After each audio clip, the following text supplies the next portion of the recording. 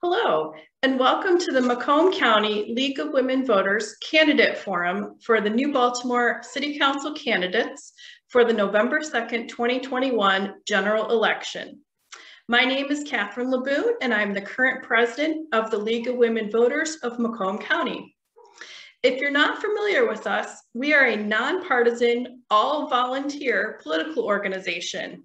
We were established in 1920 after winning the right to vote for women, and the League is one of the nation's most respected community-based organizations.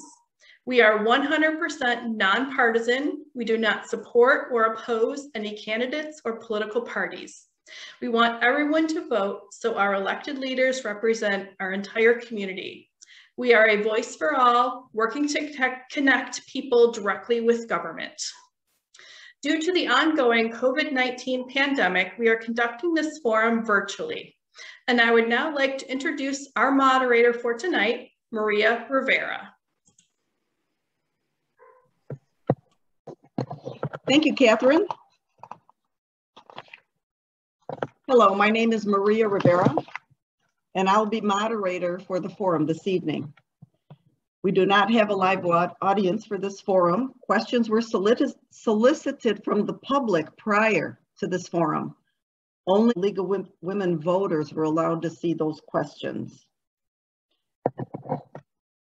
The uh, this is the purpose of this forum is for is for a presentation of the candidates for the general election on Tuesday, November 2nd, 2021 elections, oh, um, I'm sorry, electronics of any kind are not to be used during this forum.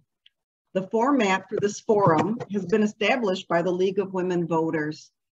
The forum was reviewed with and agreed to by each candidate prior to the forum. There are six candidates running for three open seats. All candidates have been extended an invitation. Tonight, we are presenting three candidates, each running for a four-year term. No campaign materials are allowed throughout this forum, including buttons or coffee mugs, etc. Please note this forum is about the presentation of the candidates and their opinions to enable voters to make an informed decision at the polls in November. Each candidate will be allowed a one minute opening statement, a one minute response to each question, and a two minute closing statement. Of the six candidates running for city council, there are three participating this evening. I think I mentioned that. Unable to join are David Duffy, Mel Eason Jr., and Carol Weinreich. Now I'd like to introduce the participating candidates. Once again, there are three participating candidates for three open seats. Each term is for four years. In alphabetical order, they are Jeffrey Byram, Ryan Covert, and Stan Russell. Each candidate will make an opening statement for one minute. We'll have a one minute response time and a two minute closing statement. Our timekeeper this evening is league member Kathy Poor, who will hold up a card to um, when there's 30 seconds remaining and a card indicating stop when the time has expired. Please note that the audience will be unable to see these cards, but the candidates will. As moderator, I reserve the right to close discussion on any question. We will begin with the candidates' one minute opening statements and the closing statements will be in reverse order. So we will start with a one minute opening statement with Mr. Ryan Covert. Mr. Covert, please. Catherine, do I mute? Okay. Thank you so much. And I just want to first start by saying uh, thank you to those that are in attendance tonight, to the League of Women Voters for putting this on um, to my fellow candidates that are participating alongside, as well as the residents I understand uh, that submitted questions for tonight's um, event. Um, my name is Ryan Covert. I am, as of yesterday, 31 years old. Uh, first elected in 2017 to the New Baltimore City Council, and I'm currently finishing out uh, my first term. Um, New Baltimore has been my lifelong uh, hometown. Um, I graduated from Anchor Bay High School in 2008 and from the University of Michigan in 2012. Um, and I returned to New Baltimore after college uh, to kind of put down roots in the town that um, I knew and loved. Um, I am proud to say that uh, I'm engaged to my beautiful fiance, Samantha Plotsky. Um, by day, I work in communications for the Detroit Wayne County Port Authority. Um, and Sam and I grew up here in New Baltimore. We want to um, give uh, our future children the same way of life that we enjoyed in a safe, welcoming, and cared for community. It's my home, it always has been, and I want to make it the best place it can be.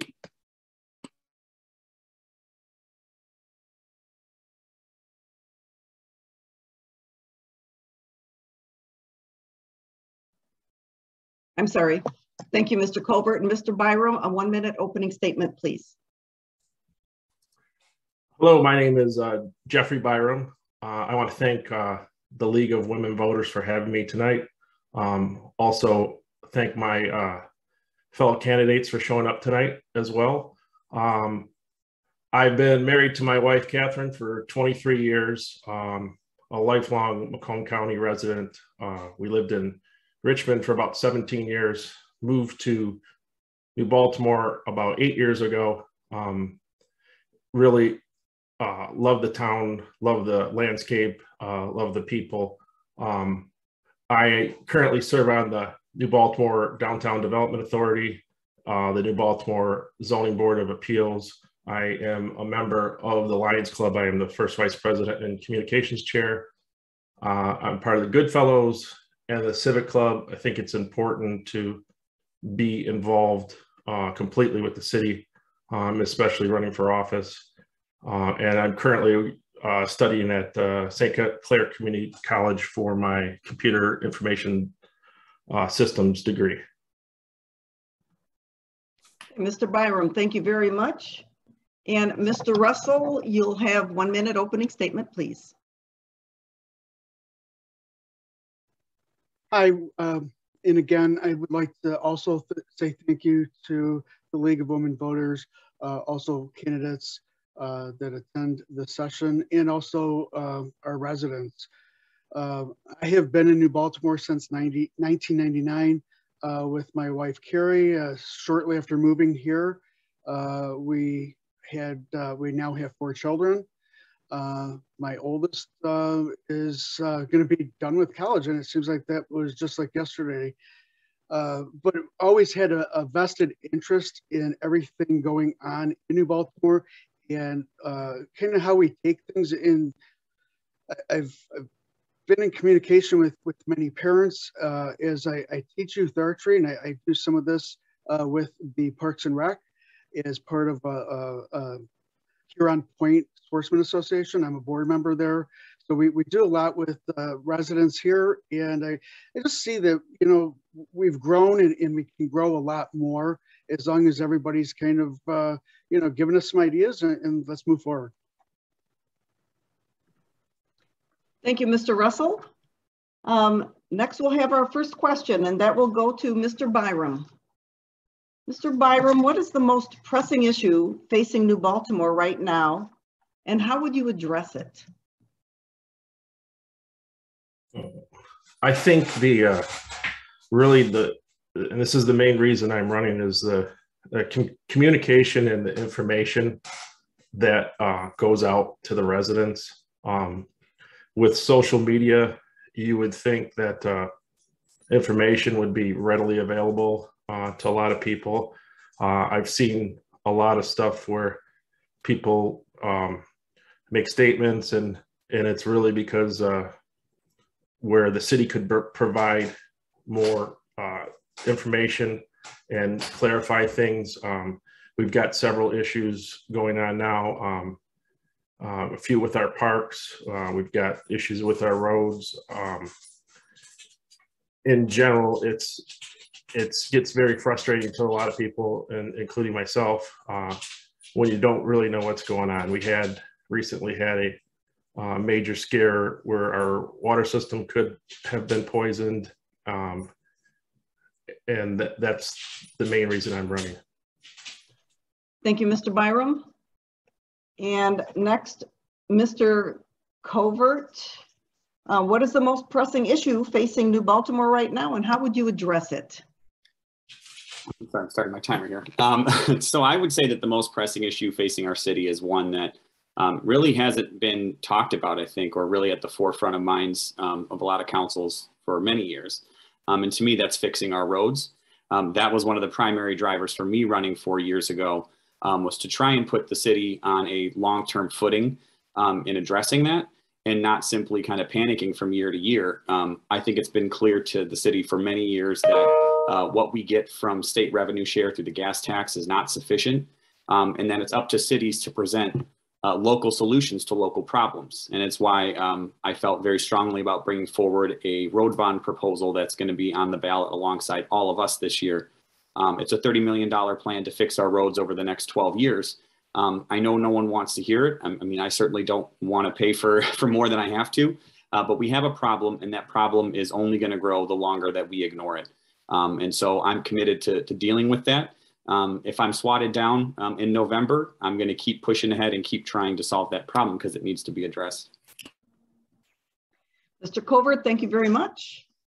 Uh, next question, we'll go first to Mr. Russell. The city has a historic district, uh, I'm sorry, the city has a historic commission aimed at preserving the history of the district. Maria? Yes. Did Mr. Russell get to answer the question? The first question? Yes, he was the second respondent. Oh, Is that not right? Mr. Russell, did you? You no. did not. My apologies. Please, what is the most pressing issue facing New Baltimore right now and how would you address it? Uh, again, I, I, would I would uh, go on, you know, with with what Mr. Covert said. Um, one of the roads that was fixed, probably second, uh, that was uh, pretty bad was was uh, the road that I live on. Uh, it was it was a big uh, mess. Uh, I do see that one of the other problems that has been brought to my attention a lot from many residents is also success of Festival Park, but also some some needed attention, such as some paving of the roads, uh, some just speed bumps. There's there's safety issues with the kids that are playing out there that walk away from their families. Uh, I've seen some of this firsthand by taking a trip out there, uh, and, and, I think people are in a rush. And I just think that you know we, we need to kind of keep up with safety, keep up with infrastructure improvement, and, and you know let's keep everybody happy and, and safe. Thank you, Mr. Russell. Again, my apologies for skipping you. How do I do that with three candidates? My, my apologies. Um, okay, the next question then will go to, it, it'll go to Mr. Russell if you're okay with that. I, we're a little out of order. So this, I'll repeat the question. The city has a historic commission and aimed at preserving the history of the district. What can the city do to help promote their efforts? I guess something that I would consider is a little bit more uh, notification of, of what is planned. Uh, I try to get this word out a little bit more because I don't think that a lot of residents are aware of where the historical committee wants to go, what they have planned.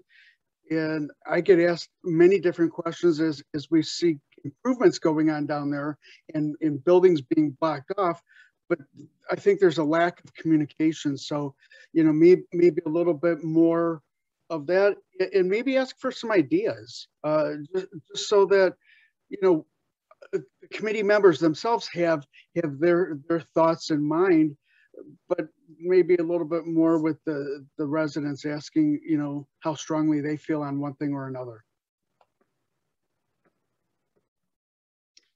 Thank you, Mr. Russell and Mr. Covert, the Historic Commission and aimed at preserving the history of the district. What can you do to help to promote their efforts? Yeah, well, actually, the, the Historic Commission, I think a lot of people uh, don't know, actually has a lot of power that supersedes even that of City Council. And that's for a reason. It's to protect our downtown um, from political pressures, uh, you know, from economic pressures um, that could push them and their mission astray. So I think the best way that we help them is by preserving their original mission and their original intent. I think we're doing that. Um, I think putting people on that commission who who have a mind for that, and I think we certainly do have that in our present commission. Um, but they need to understand what their role is, and and their role is to protect the charm and everything that people come to New Baltimore and love, um, but do it in a way that uh, complements what the city is trying to do, which is grow and develop and bring even more people into our town. Um, you know, they're not there to force some kind of artificial standard or historical feel on new buildings that are coming in. In fact, they don't want that.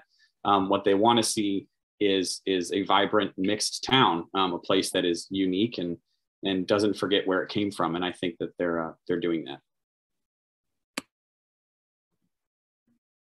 Thank you, Mr. Covert and Mr. Byron. Please, the Historical Commission. I think uh, the historical commission has a very important role. It's it's a very uh, tough job to balance um, what people want and preserving history. Um, the biggest thing, again, I'll keep referring back to this is communication. Um, people that say buy a house in the historic district or business really kind of need a roadmap of what's expected um, and a lot of upfront information. I've heard um, from a lot of business owners and and residents of of really mishandling of uh, of information given to the residents on how to uh, what materials to use. And, and there needs to be a fine balance. This is a historic community uh, on the lake on the bay. And uh, we need to preserve that that history that we have. And uh, but we also need a balance there because you have to use modern materials and we have to follow modern codes. And if you look at the city, there is there is a mix of stuff there that that doesn't follow what it's supposed to.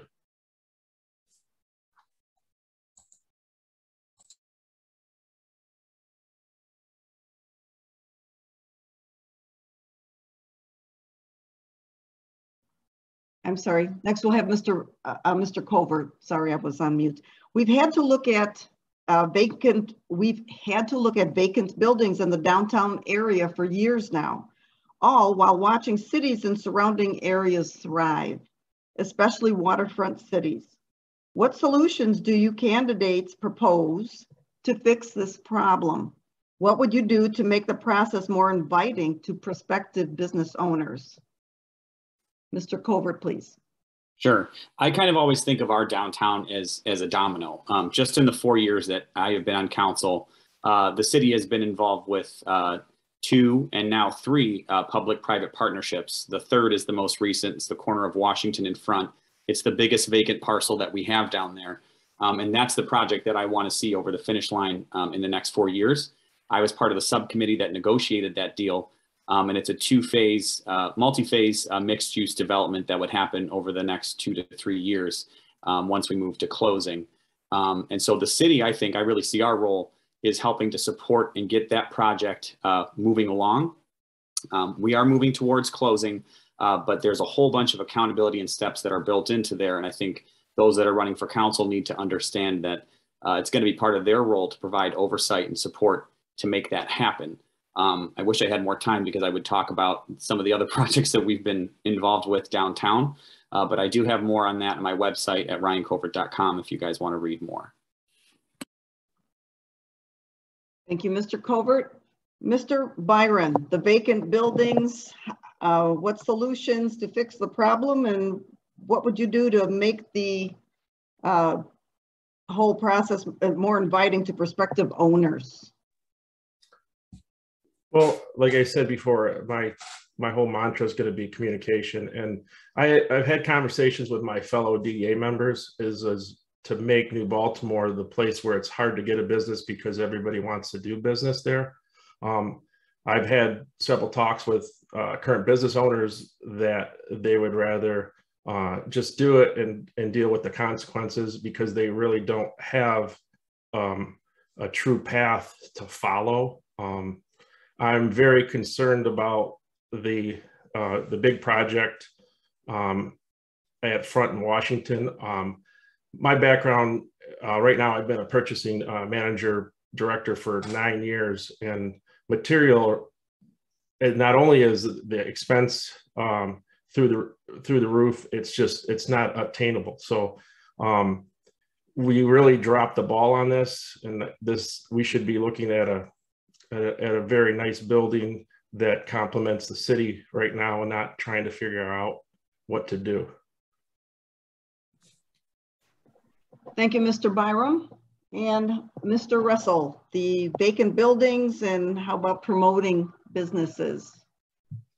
Um, well, you know, there's there's several uh, that I guess have you know kind of fell off uh, some communication or or there's some issues going on uh, that at least some of the residents are, are unaware of. Uh, you know, Stahl's Bakery and and uh, Garage, and just trying to find out you know where those are. Uh, there's an interest to have those businesses and those buildings be revived and you know let's expand business and and make things move forward right now some of those areas not only do they they look bad but uh, actually I've, I've, I've seen some hazard because some of the boards were pulled off of where Stahl's is uh, there, there's weeds growing there there's other things going on and it's just kind of sitting there untouched and again there may be working in the background uh, between the business owner and the city uh, but a lot of residents, and I've seen it at farmers market, you know, what's going on with this building and why aren't they moving forward with it? Thank you, Mr. Russell. Next, we'll first uh, go to Mr. Byram. Do you think transparency is in New Baltimore government? Can you repeat that? I, you cut out of me. Sure. Do you think that transparency is an issue in New Baltimore government? I think uh, it's definitely an issue. Um, I said over the past several weeks, um, social media posts kind of point right to that. Um, we have uh, things going on with our Parks and Rec. We have a, a major donor that we're going to do some upgrades to equipment. Um, the public was not really not given I think the whole story. Um, like Mr. Russell said, uh, we have these these projects that have been ongoing for three or four years. Uh, I have talked to the business owners, um, in particular the business owners at the garage, um, but I think it's the very important for the city to to have this communication, and it's just not happening. Um, it's a small town where everybody knows each other, but nobody knows what's going on and and that leads to kind of where we're at. We do have a lot of open spaces, and we have a lot of uh, we have a lot of great things, but we have a lot of things that are just unfinished that nobody knows about. Thank you, Mr. Byram. Next, Mr. Russell. Do you think transparency is an issue in New Baltimore government? I sure do as well. Um, again, just like Mr. Byram just said, you know, these things we hear about it, you know, kind of being a candidate going forward for, for city council, I, I try to lend an ear more to individuals and as I'm talking, open up and express uh, some questions and try to get a feeling for what what they feel and, and kind of where they would like to take things. And again, uh, I think maybe some more public forums. Uh, I know, you know, the, the actual uh, COVID uh, I mean, they, they kind of mess things up, but uh, we, we could still go forward and, and try to, you know, make things happen now, get the forums going. And if, if we need to have uh, different types of meetings to inform, let's do so. Thank you, Mr. Russell. And Mr. Covert, please, transparency, is it an issue in New Baltimore government? Sure. I would say that um, we have less of a transparency issue because these decisions and everything are all made in public forums. I think all of us that are on council are willing. I'm certainly willing to answer questions and to talk about these things at length. Um, bit of a motor mouth. Um, I think we have more of a communications problem, and I totally agree with that. Um, I, as a member of council for the last two years, have held um, coffee hours, constituent coffee hours, um, I want to keep doing that over the next four years because it really is a relaxed way that people can come and talk to me at length um, and not have to worry about speaking at a public meeting. One proposal that I did bring forward was a City of New Baltimore smartphone app that I do want to revive. I was swatted down once, but there's so many federal dollars floating around for communications now um, that are coming in the future as well um, that we could use to implement a system like that. And basically, it would enable us to be in everyone's pockets, which is where everyone wants to be in 2021 anyway. Um, we certainly have the technology. Uh, we need to commit to using it. Um, and again, it, to, to, basically put in place a mass communication in the city, uh, put in place a mass communication system for the city of New Baltimore. And I think that solves a lot of problems. Thank you, Mr. Covert. We will go to the next question and that will first go to Mr. Russell. The 2020 census shows that the population of New Baltimore has remained stable at just over 12,000 people. Do you think the, the city should do more to entice people to make New Baltimore their home? I, yeah, I would definitely uh, say that we should definitely keep pushing. Uh, we've had some great things in the past. I think it's great that you know we got the tallest flag in Michigan, things like that. People people come and look at that boat docks, uh, allowing the, you know the arts in the, the, the park and uh, promoting those things not only locally but you know I've seen signs in the past on 94. You know, for instance, the, the tallest uh, flag, and I've seen people come here and take pictures and say, God, this is a great place to live. I would love to live here. Let's just keep advertising those things. Show the positives that we have. Show that we're here for you know uh, families that that want to make this a home and, and maybe want to create a business here. Uh, we got a great place and and let's showcase it thank you mr russell mr covert what about that census and 12 your population stable population of 12,000 people and what would you do to entice people to make New Baltimore their home? Sure. Well, I think the first priority for us is to to take care of those that are that are already here. Obviously, we welcome and encourage growth. Um, you know, the city of New Baltimore is small; it's four square miles, so we certainly have a limit on how much large scale development we're going to be able to do in our city. Um, I think we learned a lot of lessons from the early 2000s where we actually were the fastest growing city in Michigan. Uh, we absolutely exploded.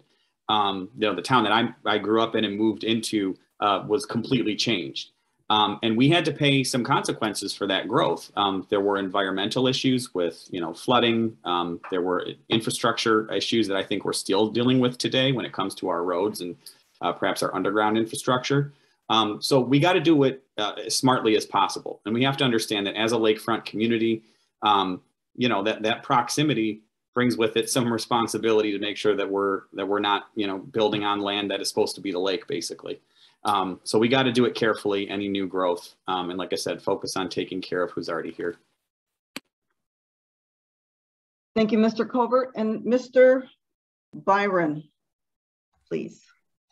I, I think it's absolutely important to um, for the city to really make a New Baltimore the the best it can be. Um, we we have a park that's very unusual, um, where it's laid right on the right on the bay, right on the lakefront. Um, two about two weeks ago, we had a, a car show downtown, and you just saw all the people there. Um, it started with the farmers market, and then we had the Lions Car Show. Um, it was just a great event. Um, all the businesses were packed. Uh, people were having a good time. This all um, equates to better property values. Um, it's it's hard to bring too many more people here because of uh, the state of construction in New Baltimore. There's not a whole lot of land to build new homes, so um, you're not going to see exponential growth. Uh, you'll see a little bit of growth uh, with with people with residents, but um, right now it's pretty stable as far as uh, what we have, and it's it's a great place to live.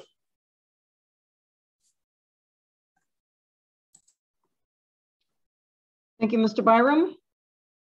Uh, next question, we'll go first to Mr. Covert.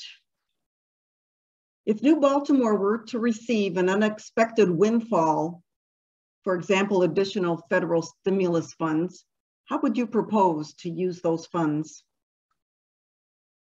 Sorry, my cat's rushing in here to to interrupt.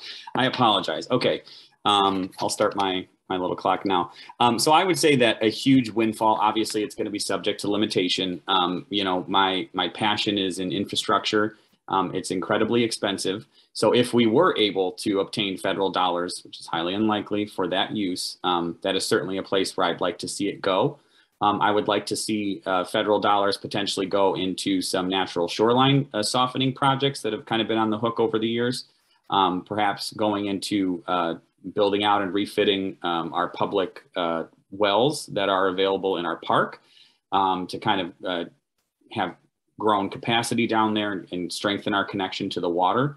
Um, and then one huge area that I would like money for is in upgrading the system, the city's uh, communication systems. So there's obviously um, hard needs that we have, whether it's servers, um, you know, booster signals, things like that. There are needs across all of our, our buildings and facilities. Uh, but I would like to put a lot of that money into online as well, particularly into creating that smartphone system that I uh, that I had mentioned previously. So many ways we could do this. Thank you, Mr. Covert. And next, Mr. Byram. What if we had, what if you had an unexpected windfall like a, like federal stimulus funds and what would you want to do with those funds? Well, currently um, on the DDA, we are working on a, a break wall project. Um, we've got uh, some great people involved um, with a lot of help from uh, from Chesterfield and figuring out um, what's the best way so we can make bring the boaters in and make the bay uh, a little safer and protect the shoreline. So that that's going to solve a lot of problems that way. Um, if we could funnel money that way, there are some DNR projects, but the city has got to have their their plan and their goals set because we did not have that and we missed out on any kind of money that we can get for this year. So we got to get uh, our, house in order and and make sure uh, that we're going after these grants that are available. Uh, obviously, I'd like to see in, infrastructure improvements, um, the drains, um, just the street, the, the streets that are really bad. Um, if we could funnel it toward that and uh, communication. Thank you, Mr. Byram. And Mr. Russell, if you if uh, New Baltimore received an unexpected windfall, how would you propose to use those funds? And I, I feel very strong about the infrastructure, uh, big time. Uh, you know, we're, we're adding, uh, you know, some some new uh, houses and subdivisions in, in, different areas. I think things have started to increase again uh, after a, a, kind of a slow for a couple years. Uh, but before some of that's done, I've seen it in the past where things were put up fast and the infrastructure was kind of forgotten. Uh, we had issues uh, early on with even odd watering and things like that. Uh, the roads is a big problem. Uh, there's a lot of cracking on the roads. There, you know, there's there's um, I guess just areas that you know should be looking better for a city like that we are and what we want showcase. So you know that, and I mean, there's other things that uh, you know, some of the buildings, the city city hall you know, could use some reconstruction and, and re renovation. Uh, we got the police station looking very nice. And we, you know, let's, let's just look at, at things like that. Thank you, Mr. Russell. Uh, next question, last question. This would go first to Mr. Byram. Um, do you think that the police and fire are adequately funded? Um, this is currently a big debate, and we do have a bond issue for the uh, fire department. Um, obviously, fire uh, fire department is is similar to insurance, and um, if you don't need it, it's hard to to say why pay for it. But when you need it, it's very important. Uh, a house behind me last year caught on fire, and I was grateful that the fire chief had uh, lived just a block away, and he came straight there and to watch something up that that close, I think um, you really got to take a look and and see what sources of funding we can get for um, the fire department, number one. Number two, the, the, the, police department, it has to be well funded too. You have to attract officers of high caliber, high quality. Um, the, the Lions Club had donated a, a, speed sign and I see them using that through the city and, it, and it's great. It gives them a lot of information, but uh, these type of technology things where um, they get this information cost a lot of money. So you have to fund it. Thank you, Mr. Byram. And next, Mr. Russell, are police and fire adequately funded? I would think that there, there still needs to be uh, some consideration about the funding, uh, including adding more of those signs. I mean, we see a couple of them now. Uh, there, there's still issues uh, that I think are safety. Uh, I think that they should look at uh, what we have for equipment for the police and fire make sure that uh, things are up to date, and again, make sure that personnel that we have on staff is, you know, trained the proper way and also available to the public. Thank you, Mr. Russell. And uh, lastly, Mr. Covert, please, are the police and fire adequately funded? Um, yeah, so first, um, you know, notwithstanding what is on the ballot this year for a fire millage, um, they are the, the greatest uh, proportion of our general operating fund. Um, that's how we just basically fund everything out of one pool in the city, save for our debt and infrastructure upgrades. Um, I certainly support the, the fire millage because I think that they have unique needs. Um, their equipment is insanely expensive. they're also dealing with a much steeper uh, uphill fight right now uh, with with staffing. I know the police obviously you know have have similar issues, but um, in fire it's it's getting really close. So um, I think that operating millage is is small enough that it it won't cause a ton of pain. It's going to help modernize our fire department that has traditionally been a volunteer force, and it's going to help keep guys um, in the house around the clock um, to make sure that the calls always get answered. Um, and one thing I just want to make sure that everyone is clear on is that when you're talking about fire, it's not just about putting out fires, it's about making those medical runs and being the first on the scene as our department often is. So um, I would encourage everyone to support that millage in November. Thank you, Mr. Covert. Um, okay, so we will now go to the candidates' closing statements, not to exceed two minutes and we will go in reverse order of the opening statements. So we will now start with a two minute closing statement from Mr. Russell, please. Yes, I'd just like to say thanks uh, everyone that has attended and that is viewing this, uh, uh, you know, this uh, session. Uh, there's a lot that we have to offer here in New Baltimore. You know, things are always revolving and there there's new ideas. I just would like those ideas to be shared. And, and you know, like Mr. Covert said about, you know, the coffee hour, uh, you know, I think more things like that are going to help bring residents out.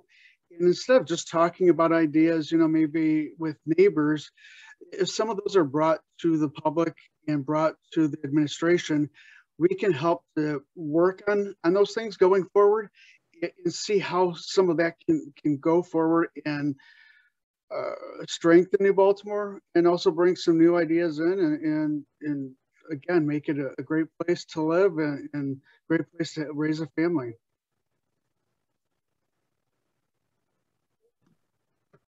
Thank you, Mr. Russell. Next, a two-minute closing statement from Mr. Byram. I just want to thank the Macomb County League of Women Voters for uh, having us tonight. Uh, I th think this is a great little session. I want to thank my fellow uh, candidates. They are great guys. They they mean the best for the city. I've worked with both of them real closely, and uh, if they get in, there, it's well deserved as well. Uh, I want to um, just continue with communications and information. Um, there's some infrastructure needs too for to us to complete that. Uh, I think we should see have a, our cities capable of having us, you know, free Wi-Fi downtown. Um, we have a lot of stuff that people just don't know about. I'm in uh, off Industrial Drive where my my workplace is. Um, we manufacture a, a lot of stuff there that goes around the world and, and people don't know that. And that's kind of an untapped resource. Um, one of the biggest things too with uh, New Baltimore is a is a really uh, unusual situation or uh, a unique situation uh, compared to a lot of other communities. We have a lot of uh, women-owned businesses. Uh, per I don't know what it is per capita, but it's it's it's on the high end, and that needs to be exploited. And we need to explore how we can promote these these businesses because it's it's all been blood, sweat, and tears that they've opened the businesses and and if you go downtown, you can almost every business, every other business you walk into, it's owned by a woman. So it's um, it's just such a great community. We just gotta do everything we can to make it stronger. Um, I'm I don't have any hidden agendas. Uh, I don't have a massive budget for a campaign. I, I did the waiver, so I have I've taken no no money from anybody. So every resident's voice um, is heard by me. Um, and I just want to make sure everybody knows that. Thank you. Thank you, thank you, Mr. Byram. And last but not least, Mr. Covert, your two-minute closing statement, please.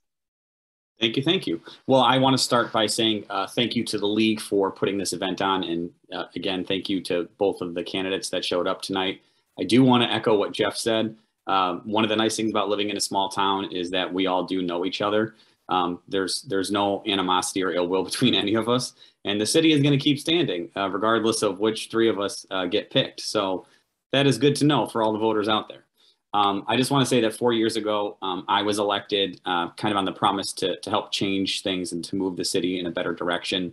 Um, I wanted to bring kind of a more focused and um, solution oriented approach to our decision making, and I think that I've done that. Um, and when I'm working for our residents, um, I'm always trying to bring new ideas, energy, optimism, and to be proactive in dealing with the things that need to be dealt with.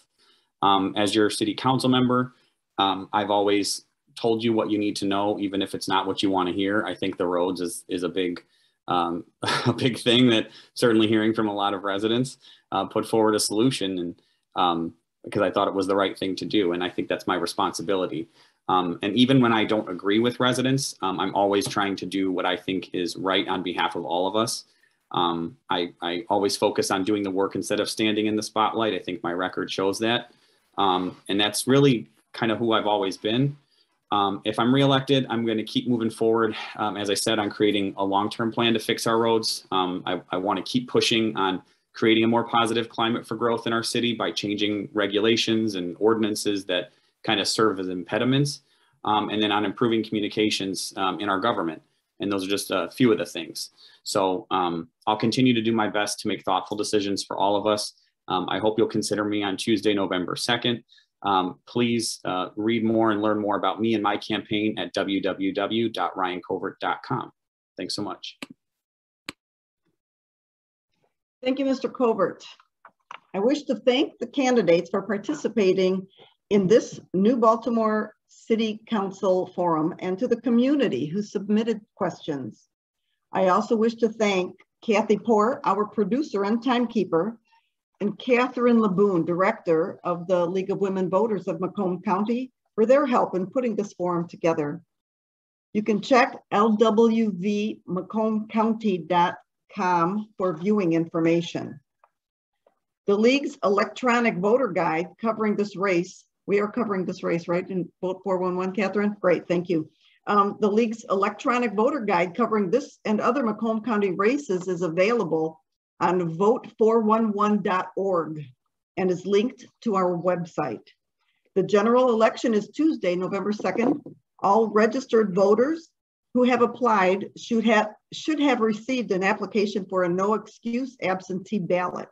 You can verify your voting registration status and track your ballot by using, by visiting vote411.org or michigan.gov slash vote, or by calling your city clerk. Note that you can register to vote up to and including election day. To do this, you need to go to the clerk's office and be ready to vote.